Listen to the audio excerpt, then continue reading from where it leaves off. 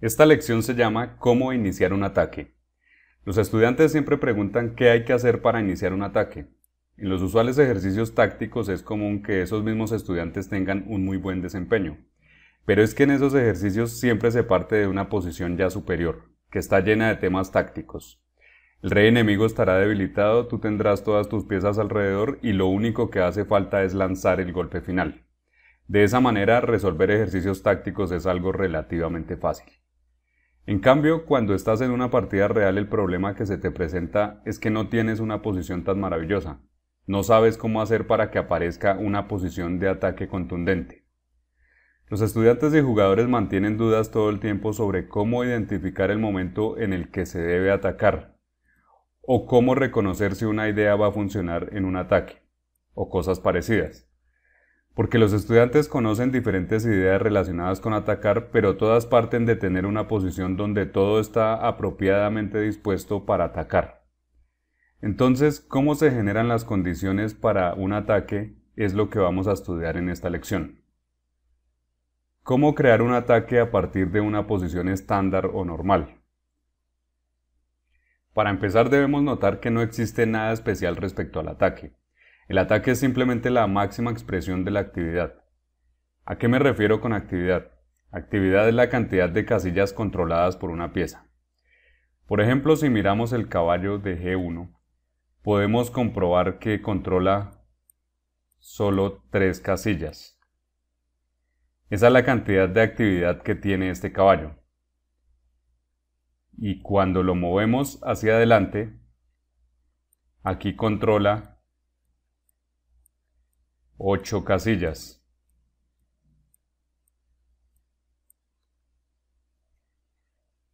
Y en esto es que consiste por completo el ajedrez.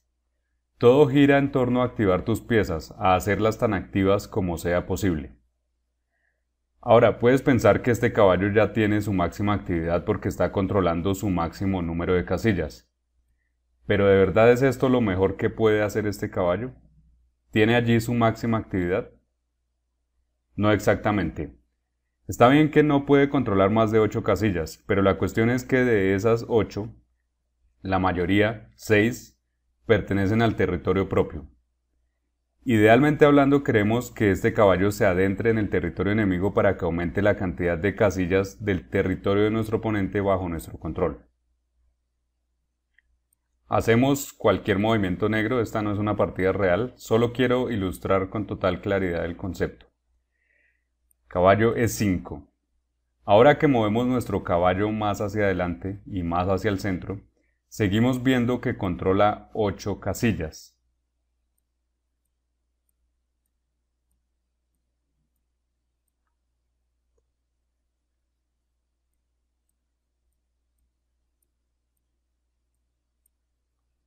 Pero la cantidad de casillas controladas dentro del territorio contrario ha aumentado. Ahora de las ocho casillas la mitad pertenecen al territorio del oponente. Y debemos notar algo muy importante, este caballo comienza a exhibir una posición de ataque. Se encuentra atacando los peones F7 y D7 y las casillas C6 y G6. Sin embargo, las blancas no han hecho nada especial para que esto ocurra. Simplemente se han preocupado por mejorar la actividad del caballo, llevándolo más adelante y más al centro y esto automáticamente ha conseguido que el caballo comience a atacar. Ahora movemos nuestro caballo más adelante. Por supuesto que no nos interesa lo irreal de esta posición, sino el concepto. Comprobamos que en esta posición este caballo consigue en la sexta fila su máxima actividad.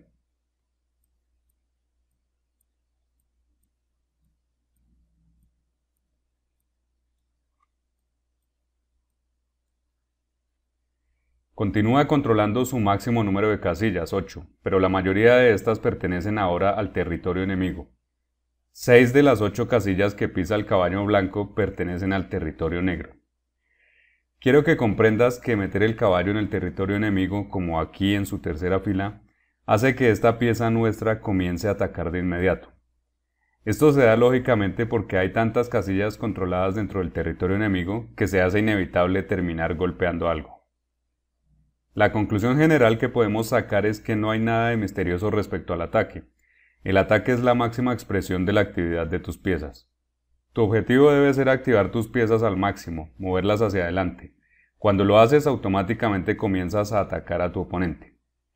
Ahora vamos a ver cómo funciona esto en la práctica. Tenemos aquí nuestra partida de ejemplo, jugada por Mijail Tal, el mago del ataque. Ambos bandos han salido de la apertura, estamos en una posición normal, estándar, y es necesario que cada bando piense en su plan de medio juego. Entonces te pregunto, ¿cómo pueden las blancas atacar? ¿Cómo podrían atacar al rey enemigo? La respuesta es que no hay una manera real de hacerlo. Es imposible que las blancas puedan crear algún ataque significativo por ahora. Esto se debe a que para poder atacar se necesita tener una actividad mayor a la que tiene el oponente. Tus piezas deberían estar bien activas. Las blancas no tienen cómo atacar aquí.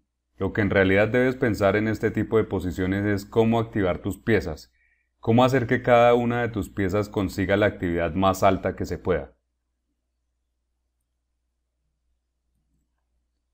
Por lo tanto, las blancas van a comenzar por poner en juego sus adormecidas piezas.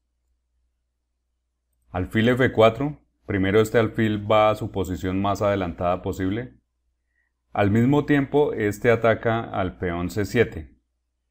Pero eso es un efecto colateral. Lo que necesitaban las blancas era poner a jugar el alfil en su mejor casilla. Torre a C8, protegen el peón. Torre E3, las piezas menores ya estaban jugando, entonces es necesario poner a jugar las pesadas. Así las blancas pueden estar preparando doblar o triplicar sus piezas pesadas sobre la columna E. Las negras juegan caballo A5 y con esta jugada las blancas reciben la oportunidad de centralizar su caballo. Caballo E5. En el centro las piezas se vuelven más activas, porque desde el centro se tiene acceso rápido a cualquier parte del tablero. Un paso importante de la activación de tus piezas es llevarlas al centro. C5, G4. Esta jugada ataca al alfil para hacerlo disminuir su actividad, y aunque se puede creer que se está buscando atacar desde ya el flanco de rey, en verdad solo se está ganando un poco de espacio y liberando la casilla G2 para activar el alfil blanco, el cual no está haciendo mucho donde está. Lo que quiero resaltar es que G4 no es un movimiento que en este momento busque atacar al rey enemigo, a su flanco. Es simplemente una continuación del plan general blanco de activar todas sus fuerzas. Alfil atacado se retira a G6. Alfil G2. Se activa este alfil. Dama D8. La dama atacada se retira. D por C5 y las blancas consiguen tomar este peón que las negras no pueden recapturar. Porque a torre por C5 se respondería caballo D7 con ataque doble sobre las dos torres.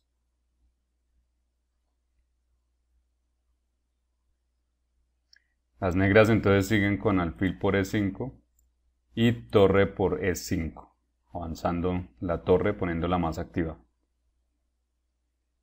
Dama F6, el alfil se va a G3 sin dejar colgada su torre. Caballo C4 y G5. Las blancas hacen otro movimiento de ataque. Dama A6. ¿Y a dónde debería ir la torre blanca que está atacada? ¿Qué opinas? Como siempre debemos ir tan adelante como podamos, a la casilla más avanzada disponible. Torre E7. Y aquí salta a la vista la presión de las blancas sobre el peón B7 que se podría capturar con la torre o con el alfil posteriormente. Sin embargo, este ataque sobre este peón ocurre de manera accidental. Las blancas simplemente movieron sus piezas hacia adelante y esto automáticamente ocasiona que comiencen a atacar algo. Torre por C5 y aquí llegamos a otro momento instructivo. En lugar de tomar el peón B7 con la torre o con el alfil o proteger el peón G5 que está atacado, las blancas deciden jugar dama de 4. ¿Por qué se hace esto? La respuesta está en que las blancas están enfocadas en su plan de activar todas sus piezas. Hablo de piezas y no de peones porque las piezas son más poderosas. Por supuesto que también hay que preocuparse por los peones, pero eso viene después, es algo adicional. Principalmente debes ocuparte de la actividad de tus piezas. Es por eso que dama d4, que lleva a la dama al centro, lugar que hemos calificado como el más importante e influyente del tablero, tiene toda la razón de escogerse, ya que activa la dama. Las negras siguieron, tomaron el peón, h4, torre a5, y aquí otra vez, en lugar de capturar el peón de b7, las blancas activan su otra torre, la última pieza que faltaba por poner a jugar. Torre A a E1.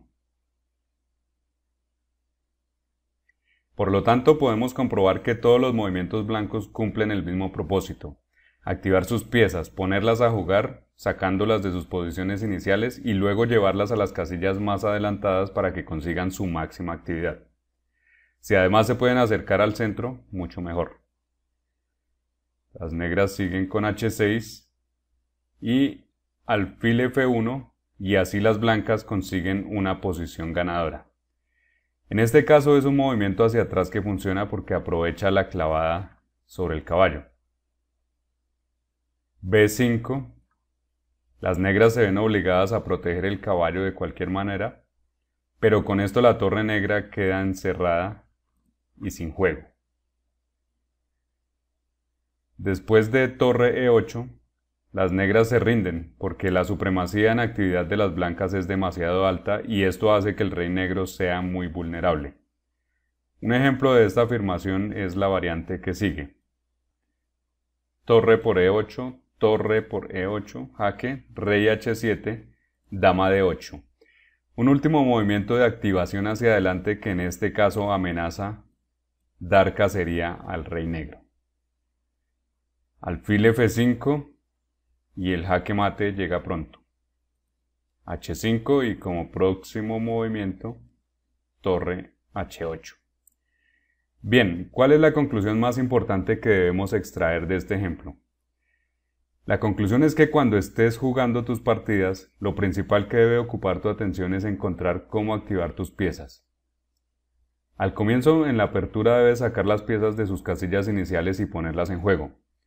Posteriormente debes permanecer buscando cómo activarlas, buscando siempre cómo hacerlas más activas de lo que estén en el momento actual.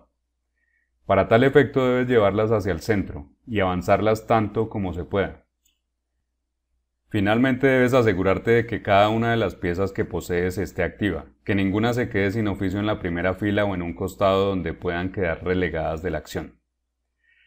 A medida que mantengas esta idea en mente de activar tus piezas constantemente, terminará llegando el momento en que tu actividad será tan alta que automáticamente quedarás atacando a tu oponente. Como debes entender, no hay necesidad real de pensar concretamente en crear un ataque. No tienes que preguntarte cómo crear un ataque, esta es una pregunta equivocada. Lo que debes pensar es cómo activar tus piezas. En nuestro ejemplo las blancas finalmente dan jaque mate, es cierto, pero no es que realmente lo hubieran planeado así desde un comienzo. Las blancas no se pusieron a pensar concretamente en aprovechar la debilidad de la última fila ni estaban pensando fuertemente en torre H8 ni nada por el estilo. Aquí las blancas no tenían idea de lo que iba a ocurrir. Por ejemplo, de que iban a dar mate por la última fila. Ese no era el plan. El plan era continuar mejorando sus piezas para aumentar su actividad. En algún momento la actividad se iba a volver tan alta que el ataque iba a llegar por sí solo automáticamente.